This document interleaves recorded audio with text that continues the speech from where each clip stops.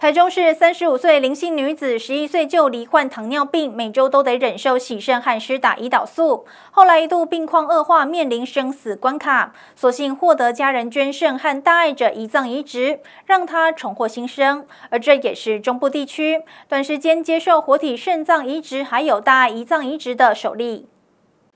和医护团队手拿鲜花合影，代表重获新生。台中市这一名三十五岁林姓女子罹患糖尿病，因为病况恶化，面临生死关卡，所幸在去年获得家人捐肾与大爱者胰脏移植，才让她顺利活了下来。要先天型的糖尿病，那这样子的病人，他常常就是身上已经完全没办法产生所谓的胰岛素，所以他血糖控制会很不稳定，有时候可能四五百，有时候只有四五十，忽高忽低啊，很不稳定。年纪轻的时候，他血糖控制很差啊，久了之后就会产生所谓的啊血管病变啊、视网膜病变啊、肾衰竭啊。长期打胰岛素的话，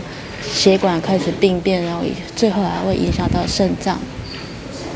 医院表示，林姓病患十一岁就罹患糖尿病，每周又得洗肾三次，早晚还得施打胰岛素，曾经面临到生死关卡，差点活不下来。直到后来在医师的建议下，接受大妹肾脏移植，同时在今年五月再获得一名因为车祸意外脑死者的胰脏移植，成为了中部地区首例。这胰脏移植其实有两大好处了，一个就是。就是挽救这个肾脏，不要让它又泡在这个高糖分的这个的环境里面啊。第二个就是它本身也可以避免一些糖分造成其他血管的病变啊这些，所以不只有延长这个肾脏的这个时间，而且还可以呃让它这个整体寿命有增加这样。现在生活就很规律，很正常，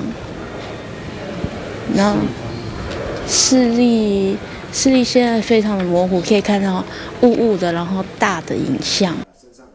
医师指出，活体肾脏移植脱离洗肾之苦，在接受胰脏移植有助稳定血糖，提供肾脏及心血管系统的保护，也减少并发症的发生。而林性病患如今重获新生，接下来更打算要怀孕生子，乐观面对新的生活。